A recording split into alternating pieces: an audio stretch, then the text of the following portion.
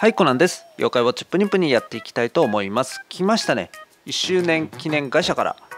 SS ランク S ランクの出現率アップ。2日間限定来ました。早速やっていきたいと思います。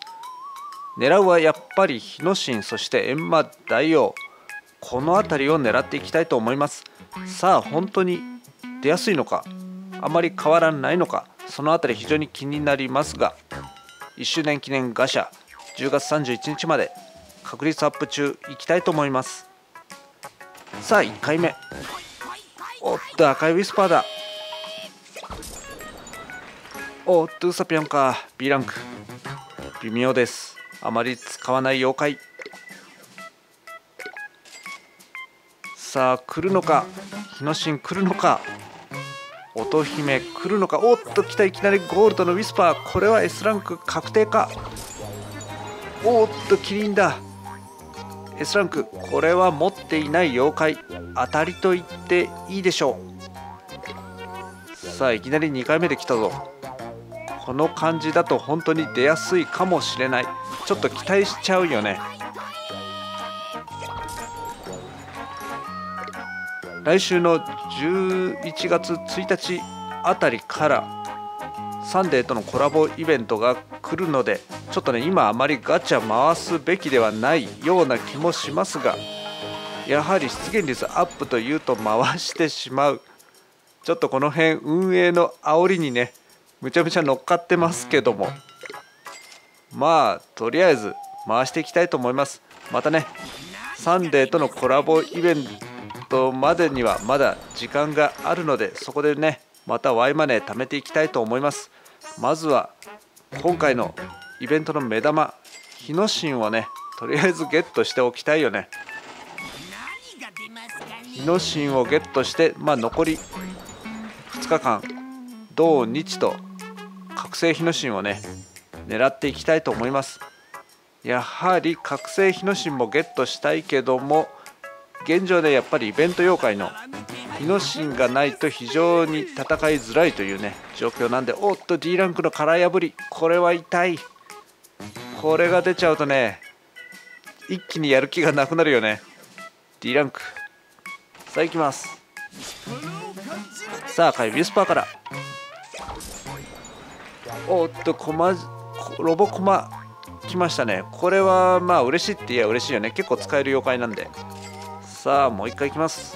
3000Y マネー。結構苦労して食べま食べ食べてない。食べましたが使う時はすぐです。またウソピョンだ。なぜかこのガシャ B ランク妖怪が非常に出やすい。B ランク妖怪の出現率アップじゃないのかと思うぐらい出やすいです。ロボコマ孫作。A ランク。この妖怪も非常に出やすいです。すでにスキルレベル3まで上がりました。さあ行くぜ。鬼ガシャ。おっと丸ナゲット D ランク。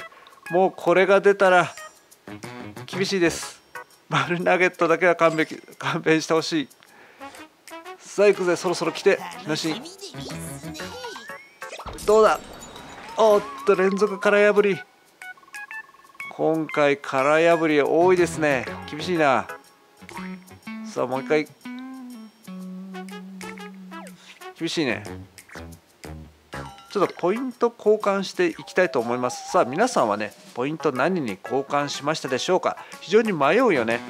今回ガシャでキリンが出たのでもう1体キリンゲットしてスキル上げておこうかなと思います。キリンはねポカポカ族の全体攻撃ということで使えるよね。非常に貴重な存在ということでね。さあそれでは早速キリン使っていきたいと思います。やるステージはね命取りです。さあ行くぜ。このステージはねまあそれほど難しくもなくちょうどいい感じだよね。結構ポイント玉がねでかいのが出てきます。結構な確率で出てきます。キリンはねポカポカ族の全体攻撃。今レベル 9, 9のスキルレベルが2ですね。古典妖怪なんだこれ。さあ命取りやっていきましょう。今回なぜかポイント玉があまり降ってこないな。後半一気に来る作戦なのか。おっと来た。でっかいのが来たぜ。これは100ポイントかな。さあ壊していきましょう。なかなか壊せない。おっと来ました。100ポイント。まだねイベント期間あるのでポイントを貯めてランクの高い妖怪交換していきたいと思います。あっと花咲か G がちょっとたまりませんがまあいいでしょう。行きましょう。キリン。おっとこれか。さあ生ハゲ。さあ Y マネーも稼ぎながらいきたいと思います。サンデーとのコラボイベントは楽しみだよね。また面白い妖怪が追加されるみたいです。ちょっとねどんな感じのイベントなのかはよく分かりません。ガシャなのかそれとも何かスペシャルステージが追加されるのかこの辺りも非常に楽しみです。さあ110ポイントゲットです。さあイベント残りどんどんやっていきたいと思います。最後まで見ていただいてありがとうございます。チャンネル登録がまだお済みでない方最新の動画が見やすくなります。ぜひチャンネル登録をお願いします。画面下のチャンネル登録ボタンをクリック。ではまた会いましょう。